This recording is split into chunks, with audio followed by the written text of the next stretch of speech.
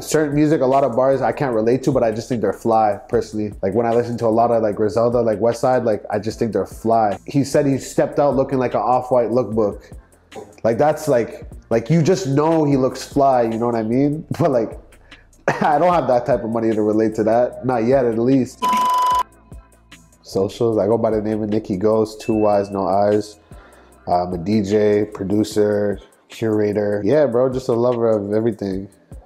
It's easier to tell you what I don't do than what I do at this point. Who's someone that you would say deserves their flowers? I know Westside Gunn deserves his flowers more. This guy changed the game. Uh, I think like music is reverting back to, or at least hip hop itself is reverting reverting back to its roots, and I think he's a big uh, he's a big influence on why that is. Everyone, the Griselda effect is real, and the pandemic uh, pandemic really forced niggas to rap again because people were releasing music on dead ears, and I think he really he really curated the sound of what today's hip hop is. Who's your favorite underrated artist at the moment? Ooh.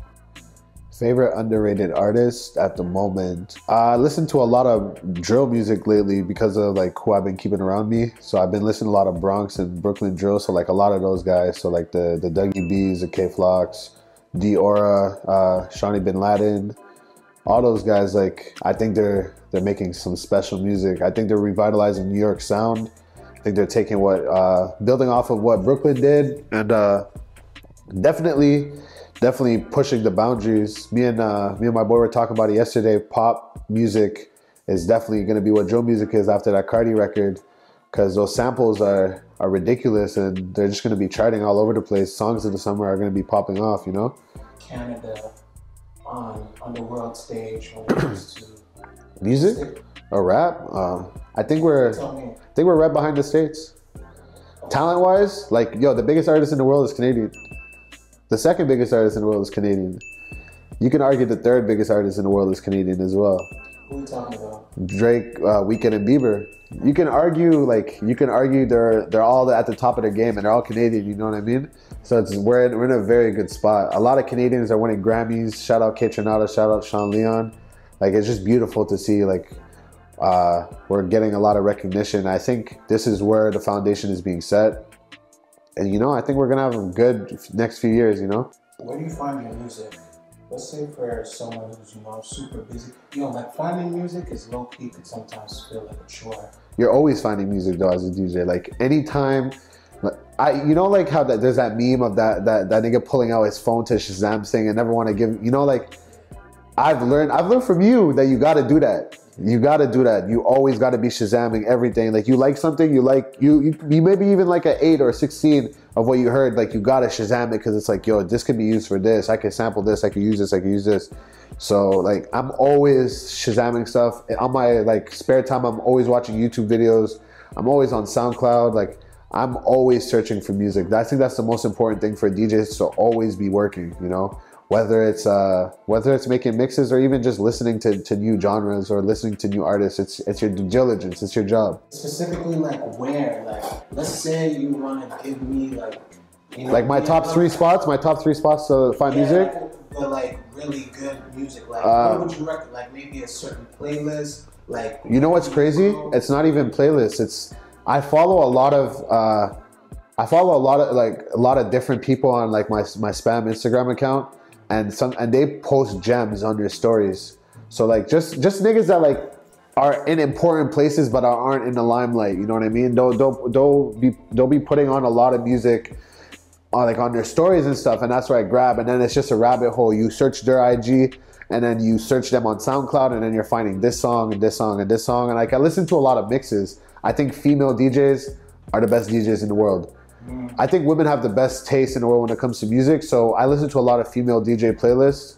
Uh, there's this uh, there's this tandem in, in New York. Uh, I don't want to. I'm, I'm gonna mess up their name, but like they're very good uh, tandem uh, DJ. They make put a lot of playlists out and a lot of remixes. So I listen to that, and I'm not afraid to message people and be like, "Yo, what song is this?" Or message or send message, be like, "Yo, what song is this?" Because I need to know. You know what I mean? I I, I think I'm past being embarrassed of, of that. Like it's it's always cool being like, "Yo, I put you on, I put you on, I put you on," but someone's got to put you on to put other people on. You know what I mean? And that, that's the beauty of the game. How would you define having good taste in music? Great taste or good taste? Because that's like, I feel like great taste is like S level. You know what I mean? Not a lot of people have great taste in music. Like, I And say, how would I think? I have you know? When you get praised constantly, you know what I mean? A lot of people have great taste in music. Like you, I think you have great taste in music, but like you would never say that you have great taste in music. You know what I mean? I think my ear is impeccable, but uh, like I'm, I'm always the first person to tell other people that they have good taste as well. You know what I mean? I listen to a lot of bad music, but it's because I like certain things out of those songs. You know what I mean? Or I feel certain things out, out of those songs. So I think having great taste in music is uh, it's very subjective. But you, if you know, you know, type of thing. If you if you know someone with great taste in music, you, you, you just know, and and I don't think they need to say that they they have it. But a lot of people will say they have good taste in music. You know.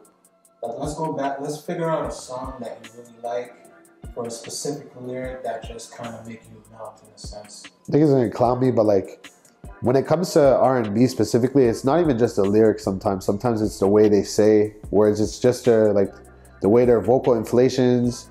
I don't know. It just makes you feel a certain way. It's like wow, it's like that was super powerful.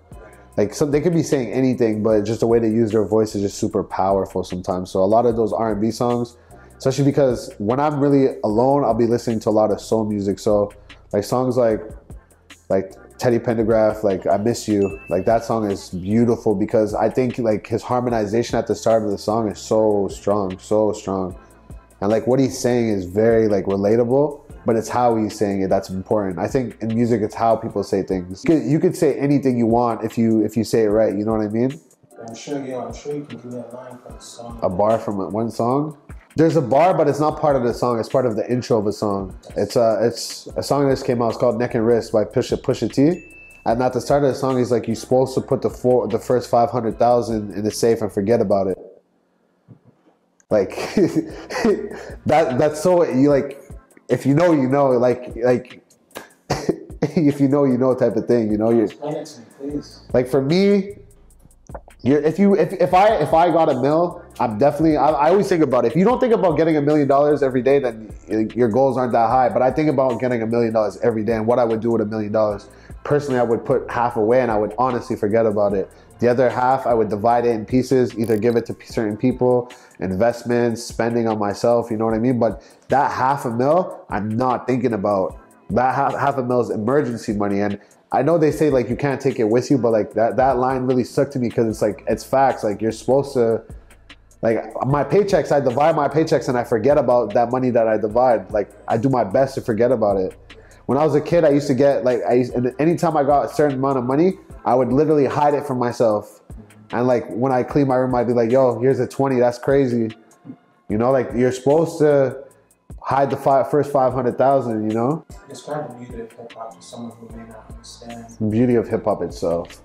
I don't know if you ever had drive to to want something or like any type of drive to want anything, then hip hop music is you can relate to it because it's all about hustling. It's all about like achieving what you want, you know what I mean? Some niggas want the money, the cars, the hoes. Some niggas want uh, social change, economic change. You know, some people want uh, to just boss up, and you know, you can find all that in hip hop. Any anything you could find in any under any genre, you can find in hip hop, and you can find it uh, ten times more abrasive, ten times louder in hip hop. How lucrative it is as a business. Or, for example, uh, Timbs. like the shoes, Yeah, it used to be a construction group. yeah. Now you can't buy a pair of Timbs for under 250 no, Uh, 220 I don't even have Timbs anymore, bro. It's Yeah, like, even Air Force Ones, bro, sold out Air every, Force Ones, everywhere, can't find them. everywhere. I got myself a clean pair upstairs. Hip hop is the most popular genre in the world, man. So they can they can name drop anything. There's a reason why. I don't know if this story is fake or if it's real, but Soulja Boy had the first iPhone. Like there's a there's a reason why. If, if it's true, there's a reason why they gave this nigga the first iPhone and they're like, yo, do your dance and hold the iPhone. Like hip hop. Wait, wait, wait, wait. Is this true? Uh, this way, this is off off what he said. If it's true, there's I, I I completely understand the reason. He's a, he Crank that was huge. This nigga's holding an iPhone instead of a BlackBerry in 2000 and whatever, 2007, 2008, holding a, an iPhone instead of a BlackBerry. That definitely changes the market. You know what I mean? You see videos with, you see videos and you see like, like frames of niggas holding certain uh, pieces of clothing or certain phones or anything or hyping up. You know, that's just that's just promotion. That's marketing.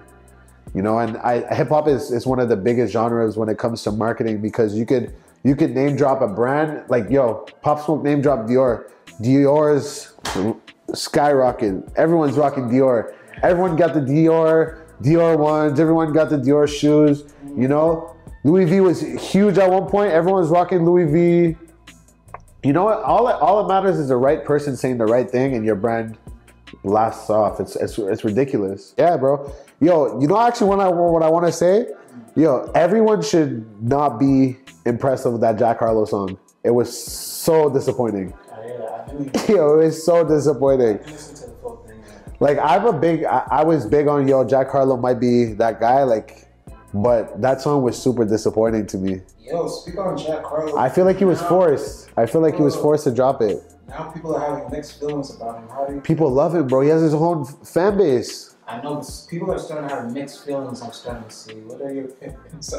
I think, Uh, I think he's, I think he could go to Drizzy route easily because I think lyrically he's talented enough. But that last record had so much potential sample wise. I think it was very rushed. Uh, I yeah, I think it was very rushed. I think the hook was boring. It was just that one part. I think the verses were very mid, but uh, like that doesn't take away from what he can do. I just think he like the remix might be fire. You know what I mean? He could do those those those songs with no hook where he's just barring out. I think he has that potential. what you got coming up next? Where could the people find you? Any last words? Uh, always working on mixes, so the next mix is always loading. Uh, I'm gonna be outside all summer. Everyone's gonna be screaming my tag. Uh, yeah, bro. Like I got a tape coming, but it's probably gonna come next year. I'm working on it, so uh, you'll be definitely seeing that next year. But yeah, we just always working. Hopefully, hopefully 48 is outside by the summer. Hopefully, all the Lucky Sevens out by the summer. Like we trying to be outside. I ain't trying to be on lockdown again.